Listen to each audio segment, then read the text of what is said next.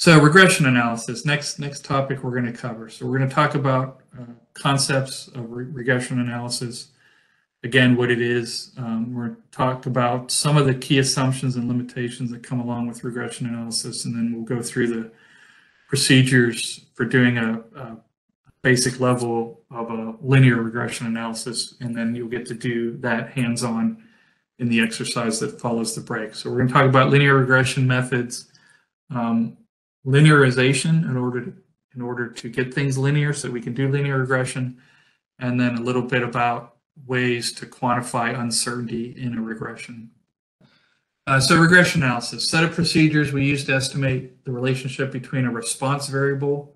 Um, so in this example, in this in this picture here on the screen, it would be um, sea level uh, and one or more explanatory variables. So in this simple example here in the plot, it's one explanatory variable, and that would be time on the horizontal axis. We typically use it for making predictions and sometimes for doing forecasting. So in this case, you know, you could potentially, um, if you had a, a, an analysis here, you could project this forward in time and, and make some sort of forecast about what what future sea level might look like. Um, and then it's also sometimes used to infer a, um, a causal relationship between, uh, between the variables. And you'll get to see and use, play around with this data set um, that's shown in this big figure in the uh, exercise today.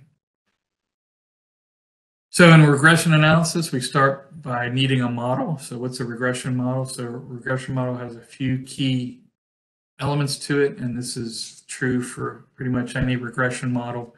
You have to have a, unknown parameters. Um, it could be um, one or more um, parameters. You have to have a dependent uh, variable. Um, so generally, that's the y variable is going to be what we define as the dependent variable. And then you can have um, one or more independent or explanatory variables, right? So the idea here is if we know uh, the values of the independent variables, you know, X can help us explain or predict what the va value of Y might be. So you can write that out as an equation, right? Y equals some function of your um, explanatory variables and some parameters, usually, you know, coefficients of some sort, um, plus an error term. So anytime you're doing any kind of a model fit, regression is just a model, right? There's always um, errors in the model. So you want to account for that with a, in regression analysis with this explicit error term. Other things we can calculate out of uh, regression models that, that we'll use um, along the way is residuals.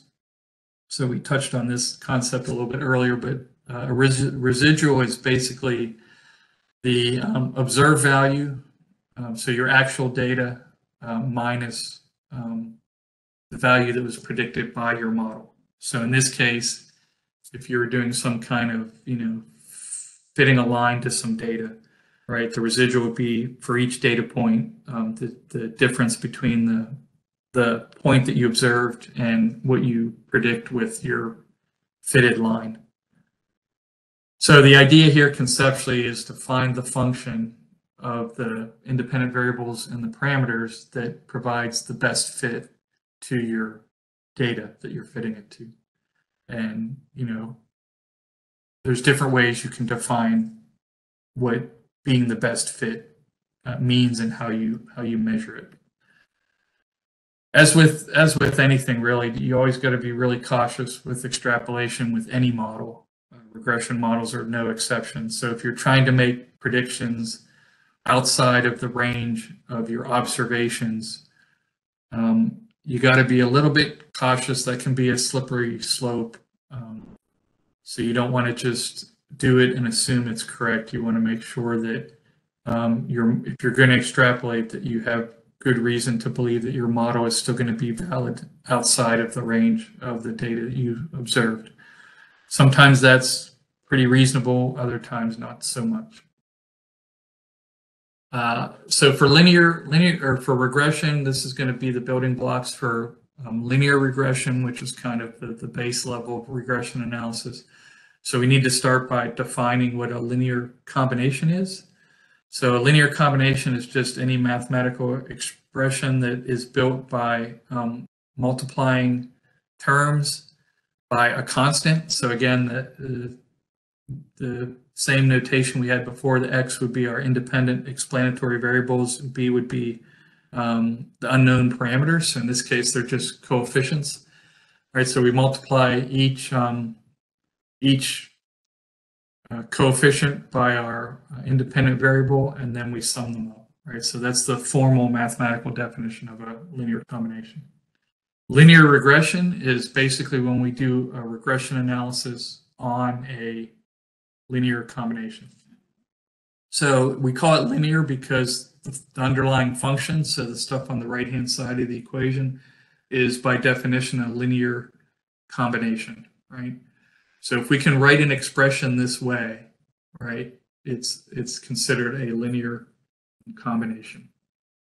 So you can have cases where you can have you can do regression on nonlinear things, right? So these these x's um, can have exponents on them, and it would still be a linear combination because you're multiplying the coefficient times x to some exponent and then adding the results. Uh, simple linear regression is probably the one most people are familiar with and have heard about at one point or another, otherwise commonly known as least squares analysis. So linear regression, simple linear regression is when you only have one explanatory variable, so only one independent variable or only one x variable, right? So, so the way we write this formally is beta zero, which is a constant, uh, plus beta one times x1 plus the error term. So if you think about this in terms of like a least squares, like a, a the usual way we might write an equation for a straight line, y equals mx plus b, right? This beta zero would be your b value, and this beta one value would be your m value, which is your slope, right? And then if you have more than one explanatory variable, we just call that multiple linear regression. We're not we're not, not going to do a, a deep dive on that. We're going to focus just on simple linear regression uh, in this course. So as I mentioned, ordinary least squares is probably the most well-known and common way to do linear regression problems for simple linear regression. Uh, the way we define the best model that fits our data is defined by minimizing the sum of the squared residuals. So again, we take the square of the residuals, so the observed versus the model, square it, sum it up, and then find the, the parameters, the betas, right? So in a simple, simple least squares, y equals mx plus b, right? We're trying to find the values of m and b, the slope and the intercept that minimize this sum of the squared residuals. And again, the reason we do squaring in these types of operations is because you can have positive and negative errors. So you can have uh, points where your observed is higher than the model and points where the observed is lower than the model. And if you just sum them up, those will cancel each other and it'll, it'll give you a false indication that the error is smaller than it really is. So by squaring it, um, it cancels, it, it prevents positive and negative errors from canceling out because everything ends up being positive. So that's why in these types of operations, things are squared. Uh, ordinary least squares, so there's two different, or there's two basic ways to, to solve an ordinary least squares problem. One is analytical, so uh, an ordinary least squares problem is simple enough that we can actually derive explicit equations to solve for the um, unknown parameters. And we're not going to go into the details of the derivation, but conceptually how you would do it is you would set the partial, this is like another maximum minimum problem, right? You'd set the partial derivatives um, equal to zero and then solve that system of equations to find the minimum um, on the square of the residuals. Or you can do it numerically, right? So we'll see that later. At the end of the day, we'll have a lecture and an exercise tomorrow on some numerical methods uh, using Monte Carlo. So you can either use an optimization tool like Excel or other software or the Monte Carlo method, which is, you know, think of that as like a guess, a guess and check type of approach. Uh, just to highlight that there are some assumptions in least squares, these usually aren't an issue, but just to be aware that there are assumptions. And if you violate any of these assumptions, ordinary least squares might not be the best choice. So obviously, if we're doing a linear regression with ordinary least squares, we're assuming that the model is actually linear. Um, we're also assuming that the our um, our um, independent variables, so our x's, are not correlated um, with the error terms. Uh, we're also assuming that the errors in our model are normally distributed. So if we look at the distribution of uh, the difference between our observed value and the value we get out of our model, we're assuming that those have a normal distribution and that on average the error is zero. So the, the mean is zero. We're assuming the error term has a constant um, variance. So we're assuming that the error has the same variability over all of our data. And we're assuming that uh, the errors are not um, correlated. The other big one too is that the, the X values, the independent variables, if we have more than, you know, if we're doing multiple linear regression, the independent variables should not be correlated too. So if you have, you know, if you're trying to use two predictive variables, X1 and X2, if X1 and X2 are highly correlated with each other, um, ordinary least squares is going to be a bit of a problem because essentially you're, you're uh, it's it's in a loose sense. It's a little bit like um, kind of double counting the effect of the two variables, right? Because they both they both are affecting the model in a similar way.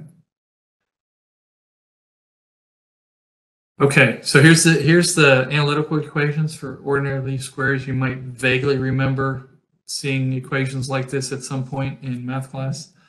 So uh, for an ordinary least squares, our, our intercept is beta zero or commonly b. So we sum up our y values, uh, multiply that by the sum of x squared minus the sum of the x times the sum of x times y divided by n times the sum of x squared minus um, the sum of x and then square that sum, right? So again, we, we're not going to go over these in great depth, but these are these are the explicit analytical solutions that you can use to solve any simple um, ordinary least squares that has just one, one um, independent explanatory variable. Coefficient of determination is one of the metrics we use to um, evaluate kind of the goodness of fit for uh, a regression analysis. So it has um, a couple of terms in it here on the right hand side. So it's a 1 minus this SSR over SST. So SSR is the sum of the square of the residuals, which we've already talked about. So you take uh, each data value, subtract, you know, the value um, you would predict uh, with your model given the same x value, right? What would what would the y come out to be if you plugged it into your fit? Square that and then add them up over all your data. And then SST is called the total sum of the squares. So in this case, you're taking each data value uh, y and subtracting the mean of y, squaring that value, and then adding it up over all of your data. So that's how you calculate the coefficient of determination. Uh, generally, a value closer to one is better, but um, again, as with any any metric, you, you want to use it with caution and um, just be aware that of some of the um, pitfalls that that can arise um, with some of these metrics. So for example, uh, the R, this R squared, this coefficient determination um, can end up being high when your fit is um, can get anchored if you just have a few very large values that are outliers of sorts and most of your data is clustered around smaller values. Um, those large values will kind of have an anchoring effect and will give you an inflated R squared value that might give you the false impression that your fit is better than it really is. So um, again, just be aware that these are not, um, these metrics aren't always a guarantee that it's a good fit. Linearization, I think I touched on this the first day. Um, this is just one application of linearization. So the idea is you try to find a linear approximation of your function in, in this case so that we can use a simple linear regression model um, uh, or approach to fit fit a model to our data. So here's just a just a really simple example here. So here you have a, a function that's to a power, right? So you have y equals um, beta zero times beta one to the x power. So this is like a, it's like a, think of as like a semi-log function um, is what this basically is, or a power function. So the way we can um, address this to linearize it is we can take um, the logarithm of both sides of our equation. So if we take the logarithm of both sides of the equation, we get the log of y. So the plot on the right here, we have plotted y in log space. We get um, the log of the uh, each of the coefficients, and then x comes out by itself. So in this case, y is going to be in log space, x is still going to be in linear or real space. So you end up with this semi-log plot on the right, log on the y, um, real space or linear on the x, and you can see the data um, looks much more reasonable in terms of being a linear uh, function, which means then we could apply ordinary least squares to this data set with this as our um, function, right, to estimate uh, what these parameters are. So in this case, you know, in, in least squares, y would be log of y, right? Beta, or uh, b, your intercept would be log of beta. m would be log of beta 1. So when you estimate the, say, the slope of this line, right, that's the log of beta. So if you, uh, you would have to take the anti-log of that value to get the actual beta that you would plug in here on if you're using the form of the equation here on the left-hand side, right? So you have to remember, you know, to, to do those those transforms. But this this just expands some of the some of the utility of linear regression if you can if you can find a linear representation of your of your function. Um, circling back to extrapolation here again, um, this will just show you just a real a real example where extrapolation can go awry. Um, so in this case, you know, choosing the right model if you're going to extrapolate, making making sure it's valid or for extrapolation is important. So here's just a, a data set plotted here. You know, the, the tendency might be to, well, I can just go into Excel and pick a power function and it'll fit it for me. I get this equation out. I get a really nice looking R squared, right? 0.999 almost, pretty close to one. So everything's fine and dandy. Um, the problem is this is um, annual maximum precipitation data, which normally we would fit to a generalized extreme value distribution.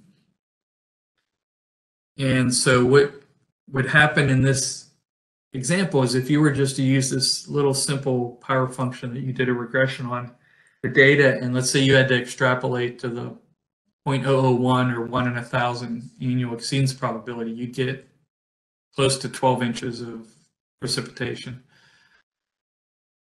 But that's not really a good model choice for this type of data, right? Generalized extreme value is, is a better model choice. So if you were to fit a generalized extreme value distribution to your data and extrapolate it to the same annual exceedance probability, you get a much different um, precipitation estimate when you um, try to extrapolate beyond your data, right? So in this specific example, the model on the right-hand side would be a much much better and much preferred model than the model on the left-hand side. So, and especially if, if you're going to extrapolate, right? If you're not going to extrapolate, there's probably not a huge difference in the two models. But if you're going to, you know, if you have a, a need to extrapolate, the one on the right would be much preferred. So just because it looks like it's a good fit, especially when you're extrapolating, doesn't mean it's a good model. Okay, last topic we'll talk about is uncertainty. So there's different ways you can um, calculate and, and, portray uncertainty in a regression analysis. One is you can show uncertainty in the model parameters, so the beta values. So like in a simple linear regression, the slope and the intercept. So this is just an example here of um, how you how you might calculate a confidence interval for the slope estimate. So given um, given a data set, right, that estimate um, has uncertainty in it. So if you want to portray that uncertainty, you can do it for any of these beta parameters, but this one would be um, just a just a example for you to see how to do one for the slope. So it's basically your your um, your fitted estimate. So that's what this beta one with a hat means. It means your your model estimate of the parameter. Uh, T is the student T distribution based on the 1 minus alpha over 2, which is your confidence interval. N over 2 is based on the degrees of freedom, which is related to your number of data N. And then SE is the standard error of your, um, of your estimator. So again, T is student T, confidence interval is 1 minus alpha. So if you want a 90% confidence interval, that corresponds to alpha equals 0.1 because 1 minus 0.1 is 0.9, which then corresponds to an upper 95% confidence limit, 1 minus alpha over 2, 0.95. And then the lower confidence uh, limit would be 0.05. Number of data that you have is n, which gives you n minus 2 um, degrees of freedom, and the n minus 2 because you have um, two uh, two parameters in your model. You have a, a, beta 0 and a beta 1. Uh, Excel has a built-in function for the student t distribution, t dot inverse. Um, and then just a, I guess, fun fact about the student t distribution. It very similar to a normal distribution, except it has thicker tails uh, than a normal distribution. So out in the extreme kind of right and left side of the distribution, the tails are thicker.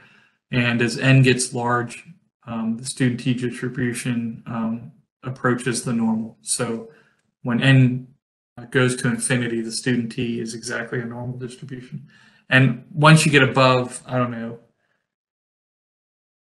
30, 40, maybe 50 for n, it's really close to a normal distribution. So you'll see sometimes in the literature, you'll see um, methods where they talk about using normal approximations. And a lot of times you'll see a rule of thumb that if your sample size is greater than about 30, that some of these methods that use normal approximations are pretty good approximations. And so part of the reason for that is that's the size of, of n where the t distribution starts to get close enough to a normal distribution that if you just assume it's normal, you know, you're going to be close enough for most applications.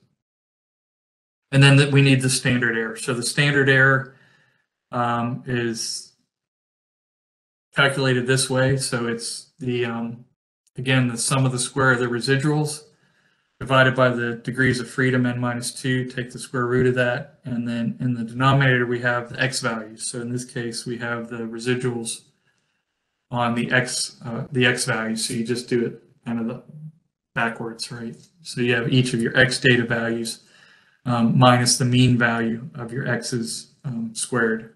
So, and then take the square root of that as well. So that gives you an estimate of the standard error for, for slope and it'll, it'll work for, um, you can do this for other, other parameters in the model as well.